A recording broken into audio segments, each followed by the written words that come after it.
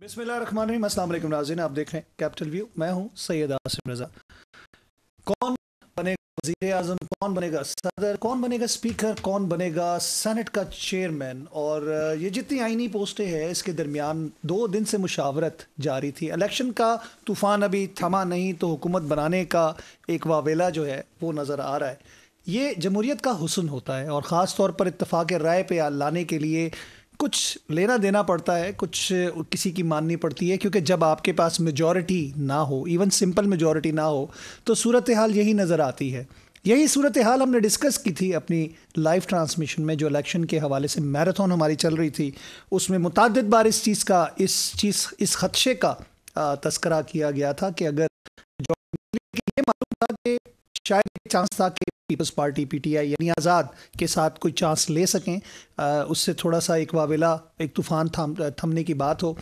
लेकिन फिर यही हुआ कि नून लीग के साथ वो पी डी एम टू का फार्मूला बनेगा। लेकिन आज आ, उसका अख्ताम इस तरह हुआ कि बिलावल भुट्टो साहब की जो प्रेस कॉन्फ्रेंस थी उसमें उन्होंने कहा कि हम वोट देंगे।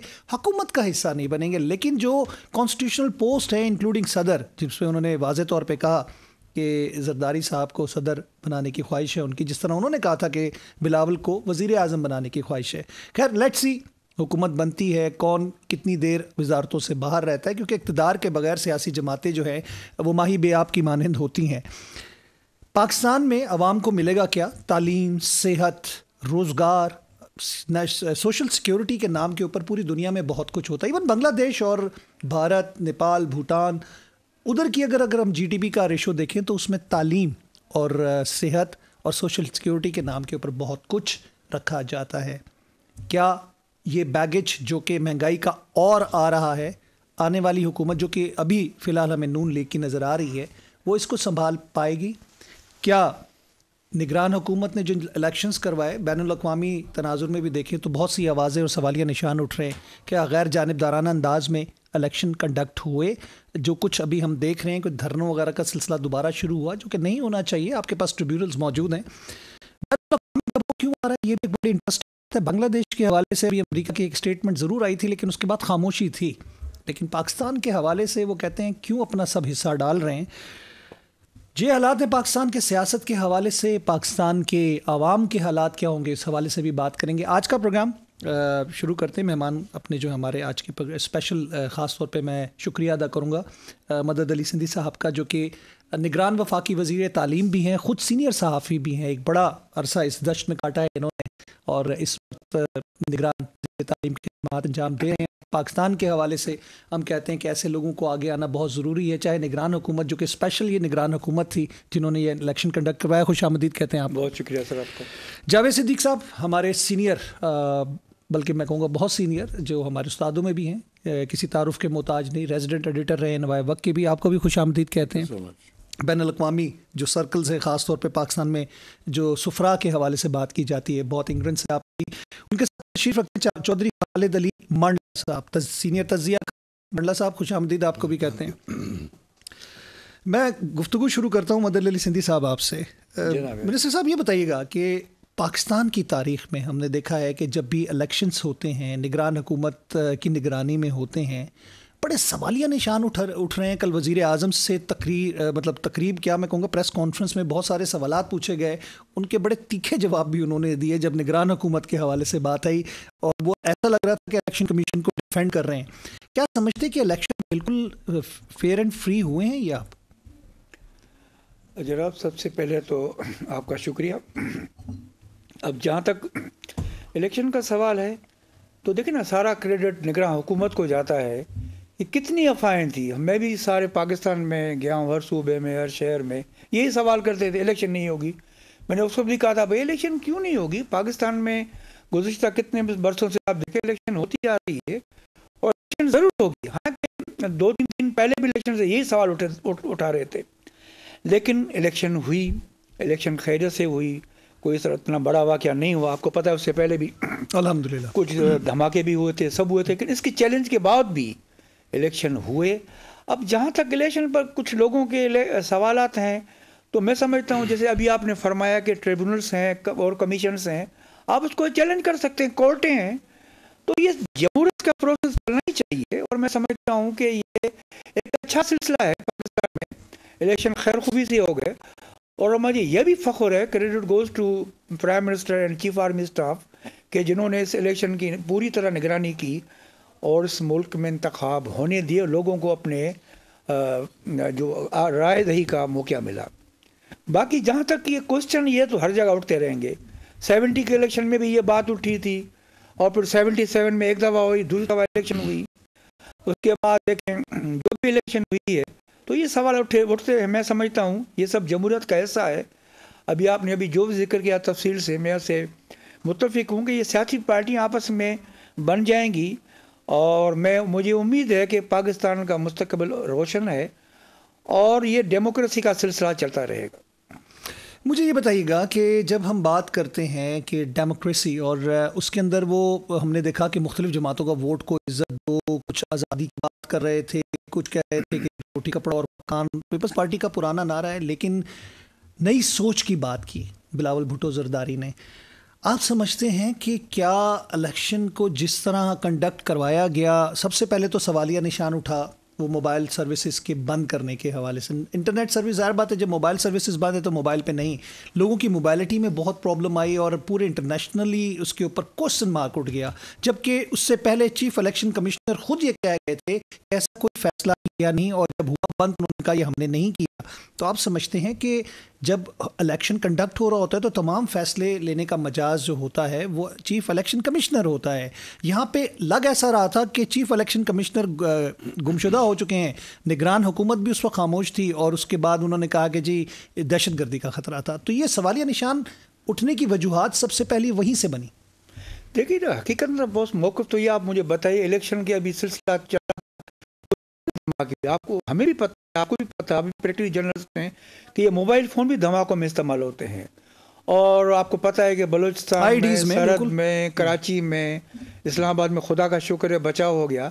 लेकिन मोबाइल फ़ोन तो इस्तेमाल होता है इस बात से इनकार नहीं है। हर अब तो ये है कि हर आदमी अननोन फ़ोन उठाते हुए भी डरता है कि भाई उनको कहा गया कि भाई कभी अननोन फ़ोन नहीं उठाएँ। तो ये सिलसिले मैं समझता हूँ कि मोबाइल फ़ोन अगर एक दिन के लिए बंद हुआ तो कौन टूटा भाई वोट तो सब लोग पहुँच गए। मैं मैं मैं मैं उसके काम होने की उसकी वैलिडिटी या उसकी लीगैलिटी पे बात नहीं कर रहा। उसके शकू को शबाहत जो वजह बनी कि कोई उसको ओन नहीं कर रहा था उस वक्त। मैंने वो बात पूछी कि ये क्यों कन्फ्यूज़न थी? देखिए मेरे से तो किसी ने सवाल नहीं किया लेकिन वज़ीर इतला से अगर सवाल किया होगा तो वो चलते उस दिन सारा दिन चल रहे थे। हो सकता है साहब ने सवाल किया हो। तो मैं समझता हूँ ये वही बेहतर जवाब दे सकते हैं।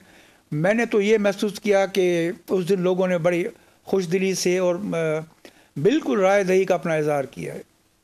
जावेद सिद्दीक साहब, बैन अवी बरदरी और हम बात करते हैं जब अमरीकन की, ख़ासतौर पर स्टेट ऑफ़िस की जानब से ऑस्ट्रेलियन जो सफ़ीर यहाँ पे मौजूद हैं और दीगर ममालिक और जो एन जी ओज़ हैं या फिर ऑर्गेनाइजेशंस हैं उन्होंने भी बड़े सवालिया निशान उठाए इस इलेक्शन के ऊपर और उसके ऊपर बहुत सारे बयान और एकदम आने शुरू हो गए सोशल मीडिया पे भी। आप क्या समझते हैं कि क्या उनका ये डोमेन है या उनको इस तरह के बयान देने कहते हैं कि दुनिया ग्लोबल विलेज है तो पाकिस्तान उस विलेज का हिस्सा है और ये तबसरे होते रहते हैं। देखें स्टेट डिपार्टमेंट को स्टेट डिपार्टमेंट के स्पोक्समैन को क्वेश्चंस किए गए पॉइंटेड क्वेश्चन कि वो क्या सोचते हैं पाकिस्तान के इलेक्शंस के हवाले से। आ, क्या वहाँ रिगिंग हुई है? या वो फेयर एंड फ्री इलेक्शंस थे? तो उसने कहा कि हमने अपना कंसर्न शो किया है। We have shown our concern with regard to elections in Pakistan. एक बात उन्होंने की। फिर उन्होंने कहा कि हमने आज जो कल स्टेटमेंट थी क्वेश्चन आंसर के ब्रीफिंग के दौरान कि हमने अपना कन्वे कर दिया है हुकूमत पाकिस्तान को कि ये जो इरेगुलरिटीज़ हुई हैं या जो कुछ भी हुआ है, इसकी इन्वेस्टिगेशन करवाई जाए। ये स्टेट डिपार्टमेंट का मौक़ है। अच्छा जो बरतानिया वज़ीर खारजा का मौक़ है, वो ज़रा सख्त लहजे का था। और इसी तरह ऑस्ट्रेलिया के जो मिनिस्टर है, उसका भी था। और आपने देखा कि इंटरनेशनल मीडिया जो है, जिसमें इकानमिस्ट है न्यूयॉर्क टाइम्स है और दूसरे अखबार थे अल जज़ीरा जो टीवी चैनल है। उसने पाकिस्तान के इन इलेक्शंस को बड़ा क्रिटिकली व्यू किया है। आ, ये सारी चीज़ें जो हैं चलें इस हद तक तो ठीक है कि आपने ओपिनियन एक्सप्रेस की। अब वो इन्वेस्टिगेशन का जो मामला है कि हुकूमत पाकिस्तान इन्वेस्टिगेशन करवाए तो ये हमारे फॉरेन ऑफ़िस ने इसका जवाब भी दिया है। फॉरेन ऑफ़िस ने कहा है कि हम जो भी एलिगेशन हैं या जो भी सियासी जमातों के शिकवे हैं या एतराज़ात हैं या रेजर्वेशन हैं, हम उनको, हमारे यहाँ लीगल सिस्टम लीगल मैकेनिज्म मौजूद है और उसके थ्रू हम इसको रिजॉल्व करें जब सब यहाँ पे सवाल ये आता है कि उनके इतराज़ात करने का जवाब बनता है, क्या अभी हमने बांग्लादेश के इलेक्शंस नहीं देखे? क्या भारत में होने वाले इलेक्शन साफ़ होते हैं? हम अमेरिका के अंदर वो खुद कहते हैं कि टेन परसेंट रिगिंग तो होती होती है उसको आप रूल आउट नहीं कर सकते। और उसके बाद जो कुछ हुआ आपने देखा तो क्या बाकी ममालिक ने उनके ऊपर एतराज़ा किए? जिस तरह ट्रंप के ऊपर इल्ज़ाम लगा हुआ है कि रशिया की मदद से उसने हैक किया पुलिस देखें जहाँ तक तो बांग्लादेश का सवाल है बांग्लादेश के इलेक्शंस को यूरोपियन ममालिक ने और अमेरिका ने एक्सेप्ट ही नहीं किया। क्योंकि वो बहुत हार्श ट्रीटमेंट थी on the part of the Hasina government उन्होंने तो बिल्कुल सियासी जमातों को करके इलेक्शन में हिस्सा नहीं लेने दिया।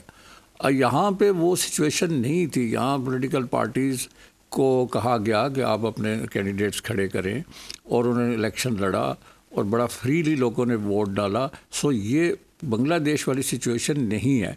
अलबत्त जो इरेगुलरिटीज़ की बात हो रही है उतने एतराज़ात नहीं हुए जितने बांग्लादेश पे होने चाहिए अच्छा, जो पाकिस्तान पे किए जा इसमें उसकी रीज़न ये है कि पाकिस्तान में वो ये समझते हैं कि स्टेक्स ज़्यादा हैं उनके? स्टेक्स ज़्यादा हैं एक तो ये बात है। दूसरा ये है कि पाकिस्तान में उनका ख्याल है कि जो इलेक्शंस होते हैं वो मैनिपुलेट होते हैं हर दफ़ा। सो वो उन्होंने एक कंसर्न अपना शो किया है। हमारे अस्करी इदारों की जाने पर उन्होंने हाँ उन्होंने इशारा किया है उसका इशारा किया है। और आप देखें कि सोशल मीडिया पर तो एक तूफ़ान बरपा है। हम्म। जो वो सारे का सारा उसका हदफ जो है हमारे जो सिक्योरिटी इदारे उनकी तरफ़ है। तो ये एक अच्छा साइन नहीं है। हमें अपनी जो इंटरनल सिचुएशन है उसको एड्रेस करना चाहिए। जो इलेक्शन कमीशन है और जो ट्रिब्यूनल्स कायम किए गए जो अदालतें हैं they should play a very active role to address all these reservations इनको जब ये एड्रेस हो जाएँगी तो दुनिया जो है ना फिर वो उंगली उठाना और एतराज़ करना बंद कर देगी। मरला साहब पाकिस्तान की सियासत और मारूजी हालात जो हैं ज़मीनी हक़ को देखते हुए अगर बात की जाती है तो पाकिस्तान में हमने ये प्रियम्प्ट किया था और प्रिडिक्ट किया था कि पाकिस्तान में जो सियासी जमातों में कोई भी जमात अभी हमारे साथ ट्रांसमिशन में रहे क्लियर uh, मेजॉरिटी भी नहीं ले सकेगी सिंपल मेजॉरिटी भी नहीं ले सकी इनफैक्ट अगर हम देखें। आप क्या समझते हैं कि अदम अतमाद का शिकार है हमारी सियासी जमातें? आवाम का इंटरेस्ट नहीं था? या फिर जो इस वक्त रूल आउट कर दिया है आवाम ने चीज़ों को आ, सियासी जमातों के बयानिए के मुताबिक आप समझते हैं कि उसके असरात हैं बिस्मिल्लाह बहुत शुक्रिया। देखिए यहाँ तक इंटरेस्ट की बात है तो मेरा ख्याल है कि नास ने पूरा इंटरेस्ट लिया और वोट कास्ट किए और वोटों की जो परसेंटेज शरह सामने आई वो भी बहुत बेहतर थी मतलब अड़तालीस पॉइंट समथिंग जो जो बताया जा लेस देन फिफ्टी हाँ। लेस देन फिफ्टी आप इसको अच्छा समझते तो हैं। बहुत अच्छा बहुत अच्छा। तो मैं समझता हूँ कि बाकी जहाँ तक पार्टियों का करदार है कि वो अक्सरियत नहीं ले सकी तो इसमें नो डाउट कि पार्टियों ने इस सिस्टम ने अवाम नास को मायूस किया। जब मायूस किया फिर पार्टी यहाँ टू पार्टी सिस्टम के नहीं है? यहाँ टंगा पार्टी को एक जमा एक सीट की पार्टी को दो की पार्टी को चार की पार्टी जब बिखर जाएँगी तो ताकत वोटर की जो है वो भी बिखर जाती है। तो वो इतने वोट तो हासिल नहीं कर सकते। लेकिन जिस तरीके से फिर रिज़ल्ट जैसे आ रहे थे मीडिया दिखा रहा था रात तक तो मेरा ख्याल वो नतज तो बड़े वाजे थे क्लियर थे कि आज़ाद उम्मीदवार जो हैं मांडला साहब रिज़ल्ट के मुताबिक टेलीविज़न पे जाएँ तो हम सौ पैंसठ के लाहौर के जिमखाना में इंडियन फौज जो है वो चाय पी रही है नाश्ता कर रही है।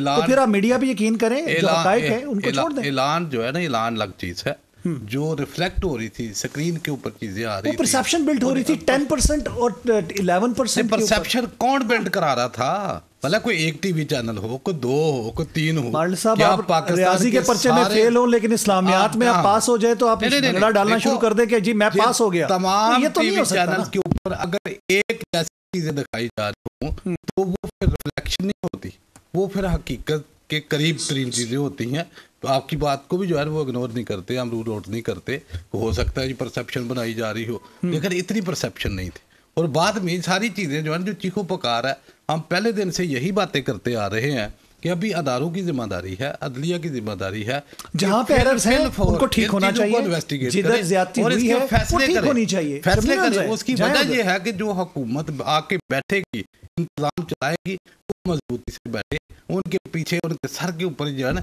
ये तलवार न लटकी हो कि आज कोर्ट में मेरा केस है आज पता नहीं वो डब्बे खुलेंगे तो उसमें क्या ऐसे मुझे मंडला साहब इस हाँ। बात पे हैरत हुई कि बीबीसी एक बहुत बड़ा नेटवर्क है बैन अवी नशरियाती इदारा है और मैंने आपको पैंसठ की जंग का ज़िक्र किया आपने कहा वो ऐलान है। ऐलानी परसेप्शन थी भाई वो। खबरों में दिखाया जाता है कि जी हमने इतने जंगी जहाज़ गिरा दिए कितने टीवी चैनल तो हैं। सियासत और जंग में सब कुछ जायज़ वाली बात आ गई ना। जंग तो नहीं थी ना ये तो इलेक्शन था। सियासत और क्या पब्लिक ने वोट डाले हैं। नहीं किसने किया? है मुझे बताया ना कि एक टेलीविज़न हो दो हो तीन हो जब एक लीडर खड़ा होकर कहे कि जी ये पैंतीस टीवी चैनल ये सब चोर उचक्के हैं मैं इनसे हाथ नहीं मिलाऊँगा। तो वो जंग ही शुरू हो जाती है बात ये है कि वो चीज़ें हो रहा है। ये तो अवाम का सवाल है। अवाम वोट डाल रही थी। जी मैं, मैं लीडर जो है ना वो तो अपनी जगह पे रह गए। मतलब जेलों में होंगे उधर होंगे को कराची होगा को लाहौर को पेशावर तो अवाम की बात इस वक्त केयर टेकर मिनिस्टर की भी बात करें और सहाफ़ी की हैसियत से भी बात करें। ये जो बहस देख रहे हैं खासतौर पर ये बहस आज की नहीं है हमने की सियासत आप बिल्कुल भूले नहीं होंगे, हमें याद है और क्या कुछ नहीं हुआ था, वो भी जंग ही है और सियासत तो नज़र नहीं आती। तो आप क्या समझते हैं, पाकिस्तान की तारीख में ये चीज़ें क्या पहली मरतबा हो रही हैं?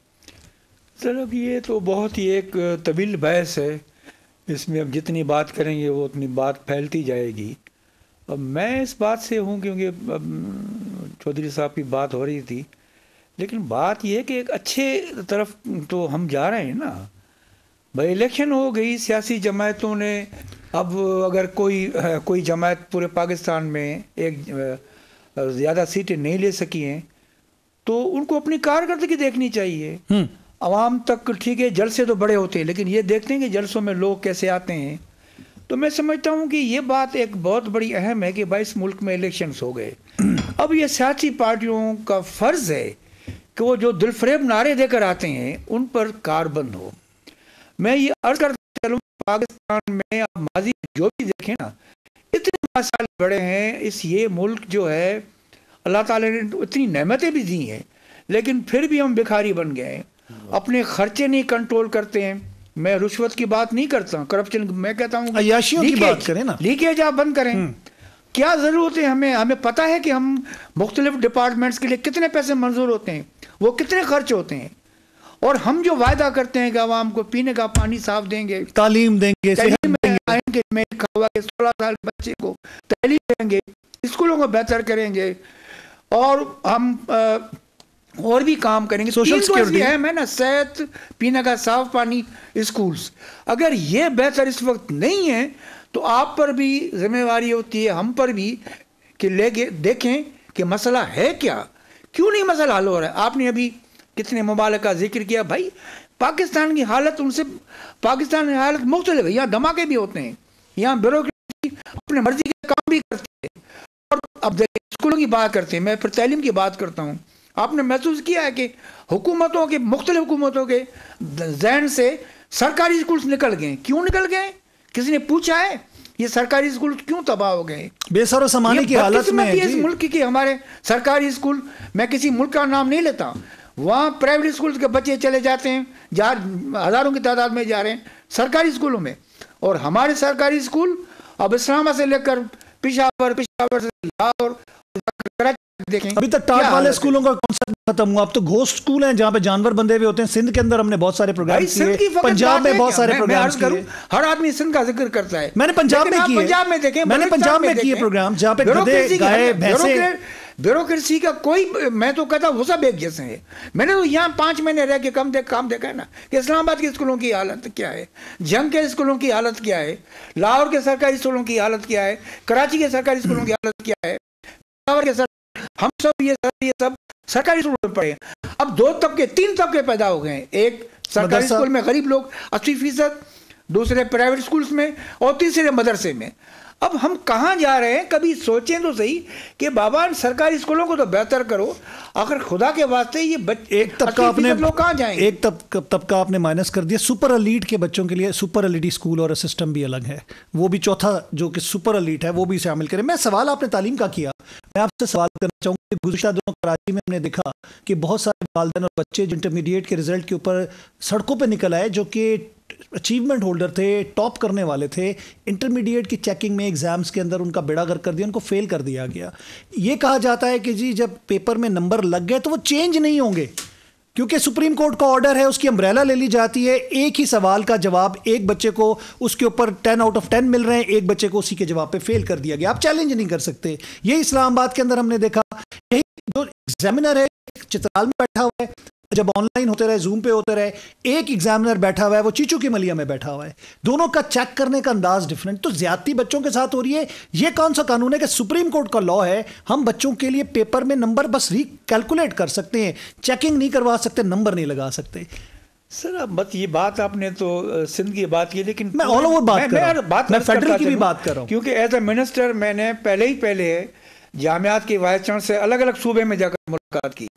पंजाब में मैं आज़ाद कश्मीर भी गया हूँ सिंध में भी गया हूँ, बलूचिस्तान में भी गया हूँ, हर जगह मैंने ये।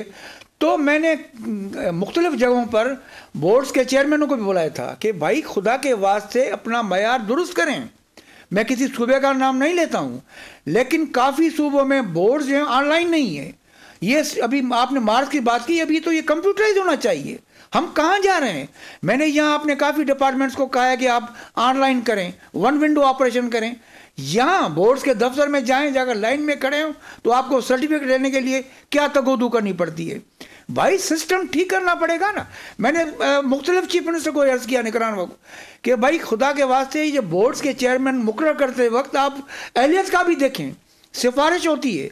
सिफारिश में वो इतने मसाइल बढ़ जाते हैं। वही जो मैंने बात की ना हमें पता है कि ये बोर्ड्स में कितनी करप्शन है और कितनी वो, पैसे लेकर लड़के पास के पास हुए। काफ़ी बोर्ड के चेयरमैन ने भी कहा है हमारे पास ये करप्शन की आम है।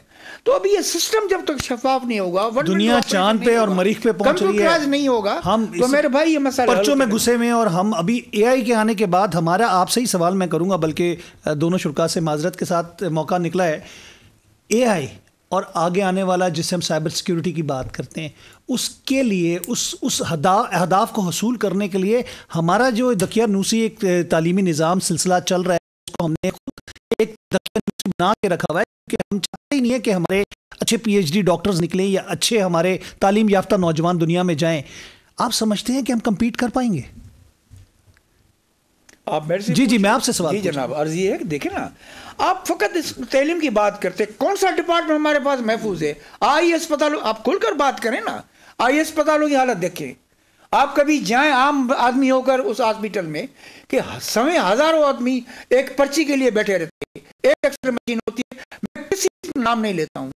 एक जो है अल्ट्रासाउंड की मशीन होती है वहाँ लाइन लगी हुई होती है। ये पैसे कहाँ जाते हैं? लोगों को इंतज़ार कराया जाता है। एक हटा के वो जो व्हील चेयर्स हैं वो भी खराती। तो भाई ये पैसे कहाँ जा रहे हैं? कोई पूछने वाला है? आप शहद देखें, पीने का साफ़ पानी देखें, तैलीम देखें, और डिपार्टमेंट में नहीं जाते हैं। एक एक डिपार्टमेंट तैलीम सूबे में छब्बीस छब्बीस सत्ताईस डिपार्टमेंट है। मेरे पास से इस्लामाबाद में, ये वफाकी इदारे में सत्ताईस डिपार्टमेंट है। ओ भाई, हम देखो ना। स्कूलों से, स्कूलों की हालत तो देखें जाकर। मिनिस्टर तो चले, ठीक है। डीजी भी अपने दफ्तर से नहीं निकलता है, उससे मिलना मुश्किल होता है डायरेक्टर स्कूल नहीं निकलता है सेक्रेटरी नहीं निकलता है, और सत्रह ग्रेड का अफसर भी नहीं निकलता है। तो भाई स्कूलों की हालत कैसे बेहतर होगी? और वो फंड्स वो कहाँ जाते हैं? हेल्थ में देखे, दवाएँ नहीं है। दवाएँ बिकती रहती हैं मेडिकल स्टोरों पर। यार, ऐसी हालत में हम खुदा की कसम, पाकिस्तान के लोगों को तो अल्लाह ताला चला रहे हैं, और कैसे वो ज़िंदगी गुजारे, इस पर अल्लाह ताला कोई रहम करे, और जब तक मुआसबा नहीं होगा जब तक वज़ीर अपने दफ्तर से नहीं निकलेंगे, अफसर अपने दफ्तर से नहीं निकलेंगे, तब तक ये मसाइल रहेंगे। आप भी आए तो हम देखेंगे हमारे मुल्क के मुख्तलिफ़ शहरों के मेन शहरों की अस्पतालों की क्या हालत है।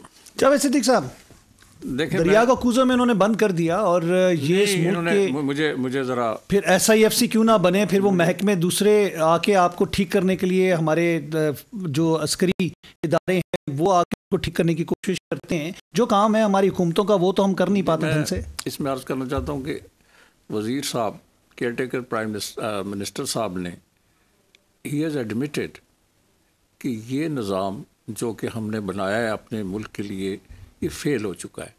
अगर ये ये कह रहे हैं कि ये निज़ाम करप्ट है डिलीवर नहीं कर रहा और इनकॉम्पिटेंट लोग बैठे हुए हैं और वो उनको कोई परवाह ही नहीं है तो दैट मीन्स कि और हमें क्या सबूत चाहिए कि गवर्नमेंट का सिस्टम जो है वो क्रिपल्ड है मफलूज है काम नहीं कर रहा। अभी आपने इलेक्शन की हम बात कर रहे हैं और बड़ी मैराथन सेशंस हुए हैं ट्रांसमिशंस हुई हैं, मैंने भी बहुत से पीटीवी और दूसरे उसमें जाके बैठा रहा हूँ। सवाल ये है कि किस जमात ने, किस पॉलिटिकल पार्टी ने इस सिस्टम को रिफॉर्म करने की, इसको, इसकी असलाह करने की बात की है? तालीम, ये भी तालीम के वज़ीर हैं। तालीम जो है यूएनडीपी कह रहा है यूनाइटेड नेशन डेवलपमेंट प्रोग्राम वाले, कि पाकिस्तान में ह्यूमन डेवलपमेंट का कोई कंसेप्ट ही नहीं है।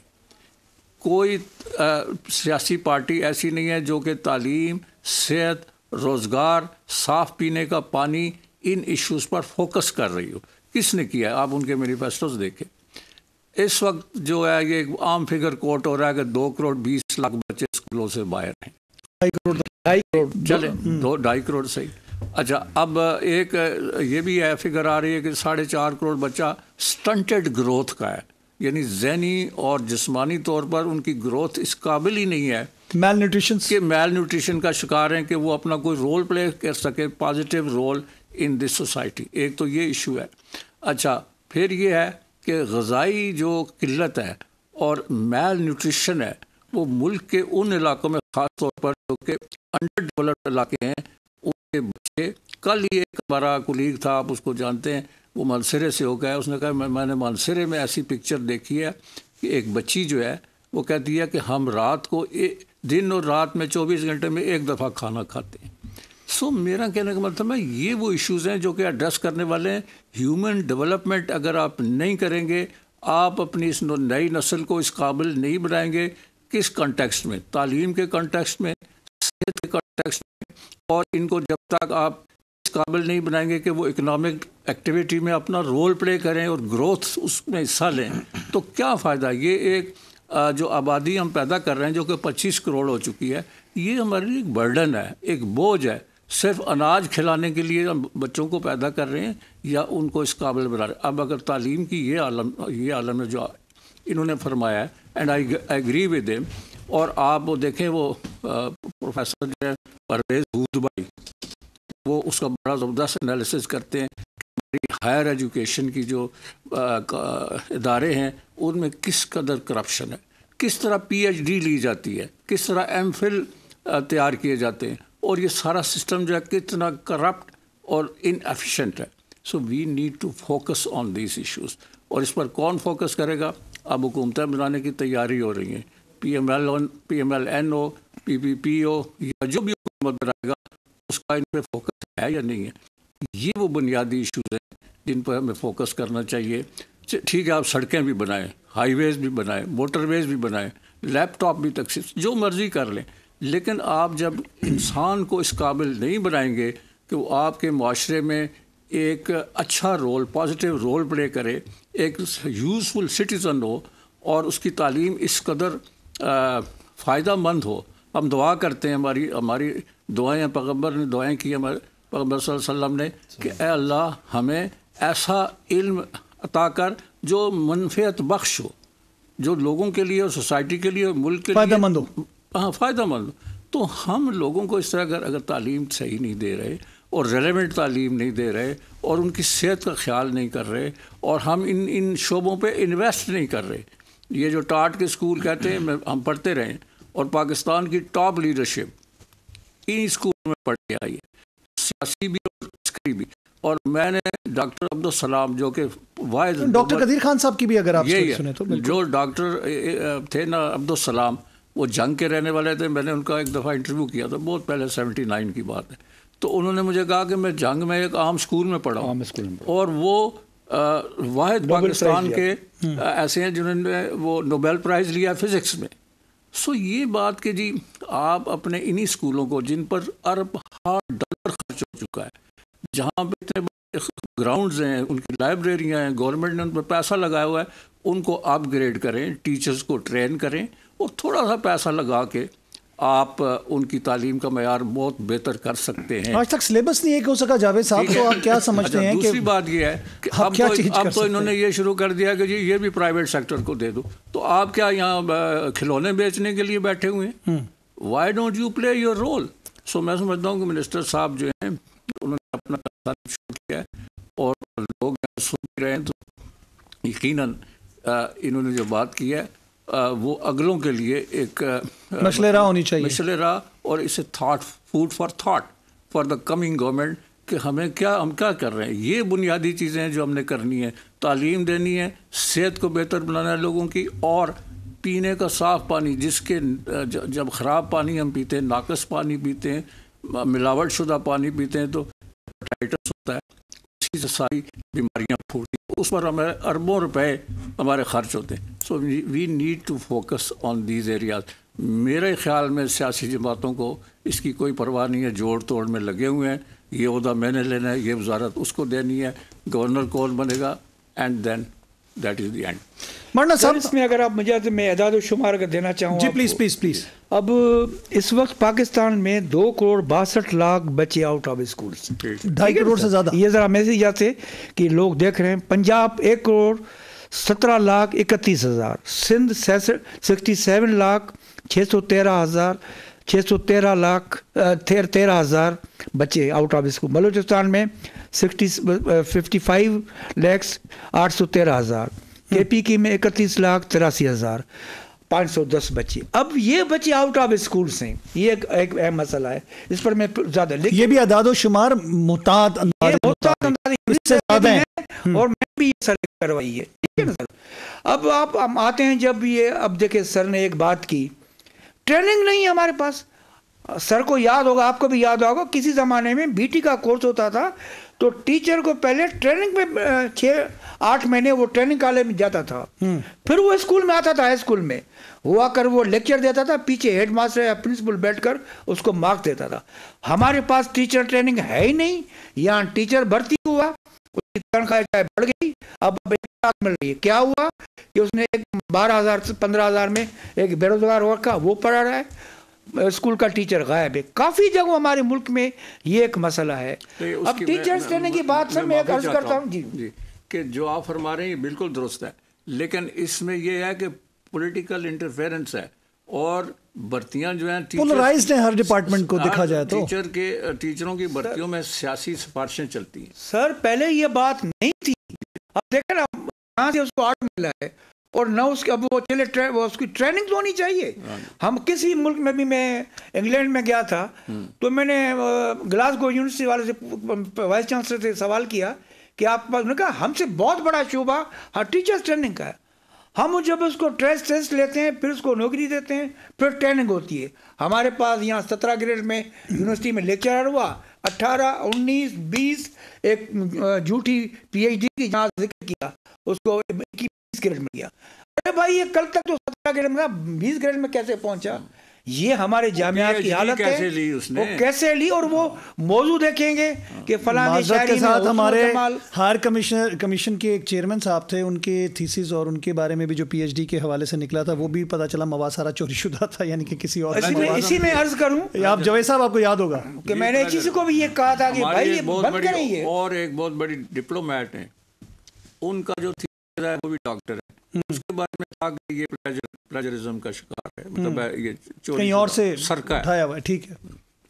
मैं मैं मांडला साहब आपकी तरफ़ आऊँगा। जब तालीम के निज़ाम को देखें सेहत के निज़ाम को देखें हम ज़रात के निज़ाम को देखें पाकिस्तान एक बहुत बड़ा ज़री मुल्क जी इकहत्तर फ़ीसद आबादी इस पर इंसार करती है। हमें क्यों ज़रूरत महसूस हुई कि एस आई एफ़ सी बनाया जाए महकमों को दिया जाए मिनरल्स की बात की जाए?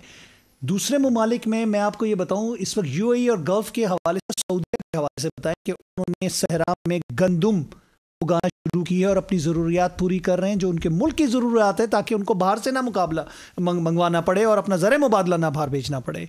हमारे पास ज़मीन होते हुए बंजर पड़ी हुई होती है। हमारे पास तकनीक होने के बावजूद हम काम नहीं करते।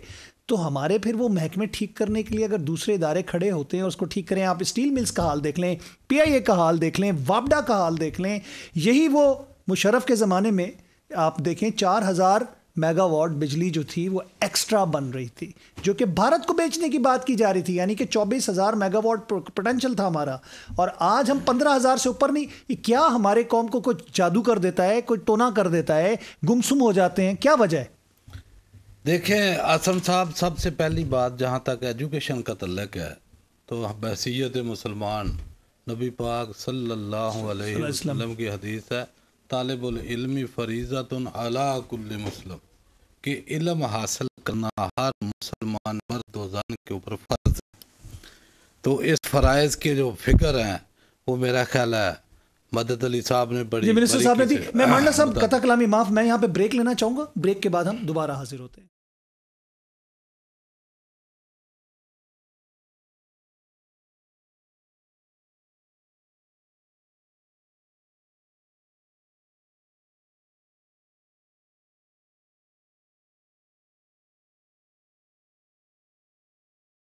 जी वेलकम बैक एक मरतबा फिर आपको खुश आमदीद कहते हैं। मंडला साहब बात हमारी अधूरी रह गई थी। वजूहत क्या है? तजुर्बे की जाने। हम क्यों जा रहे हैं? कौन ठीक करेगा? फिर जो ठीक करने आते हैं उनके ऊपर भी एतराज़ात उठते हैं। तो बात आसम साहब नबी पाक सल्लल्लाहु अलैहि वसल्लम की उस हदीस से है। तलबुल इल्म फरीज़तुन मुस्लिम। अला मुस्लिमतिन व मुस्लिम। के हर मुसलमान मर्द औरत। के ऊपर इल्म हासिल करना फ़र्ज़ है।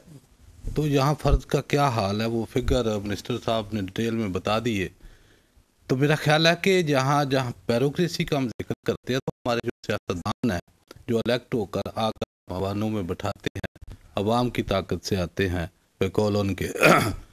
तो उनका भी मिला जुला ऐसा ही जो है रुझान है। मैं मदद अली सिंधी साहब को, बसीयत मिनिस्टर, इनको देखा कि केयर टेकर मिनिस्टर होने के बावजूद मेरा ख्याल है पब्लिक के लिए इनका दरवाज़ा हर वक्त खुला देखा। और इस तरीके से लोगों को एड्रेस करेंगे कि अगर ऑफ़िस आ रहे हैं तो मेरा है, एक दिन खड़े थे कोई दो तीन सौ यहाँ जो एजुकेशनर जो थे टीचर उनके मसाइल थे टर्मिनेट हो चुके थे। उनको ड्रेस किया, सुना और खड़े खड़े फैसला दिया कि नहीं, इनको दोबारा रिस्टोर कर दिया जाए। और सीढ़ियों तक लिफ्ट तक आते ना, मेरा ख्याल है कि जितने भी लोग मिलते हैं, खड़े हो जाते हैं उनके पास। तो मेरा ख्याल है कि अगर इस तरीके के लोग हमारी पार्लियामेंट में आए और वाम नास को एड्रेस करें उनके मसाइल सुने तो मसाइल का मतलब है कि खवास ना आए। फिर दूसरी बात जो right person for the right job जिसकी हम बात करते हैं अक्सर मेरिट के ऊपर तो यहाँ आपने देखा कि अगर आप हेल्थ का मिनिस्टर देखते हैं बाद का देखे भी आपने ये पी डी एम गवर्नमेंट में भी देखा कि जो हेल्थ का लगाते हैं तो उसको हेल्थ की अलग भी पता होती है। या कोई एजुकेशन का लगाते हैं, या कोई ये लगा देते हैं एन एच ए का तो मेरा को इंजीनियर होना चाहिए। उसकी क्वालिफिकेशन तो कम अज़ कम उस तर्ज की हो कि बंदा वहाँ जाकर कम अज़ कम सुपरवाइज तो ठीक कर सके सुपरवाइज तो वही करेगा कि जिसका अपना कोई एक्सपीरियंस है, वो अपना उसका ज़ाती तजर्बा है।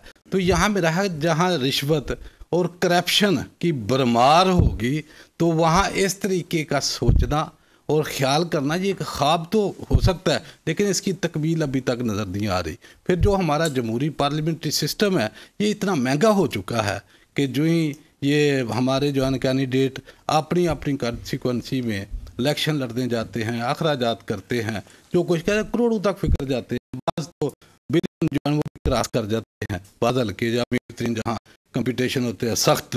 तो मेरा ख्याल को वो किसके लिए करते हैं? क्या अवाम उनास के लिए? जो खर्च करते हैं, ये एक बिज़नेस बन चुका है।